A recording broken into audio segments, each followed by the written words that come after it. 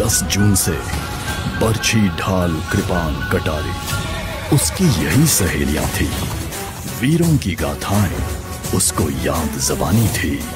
खूब लड़ी मर्दानी, वो तो झांसी वाली रानी थी।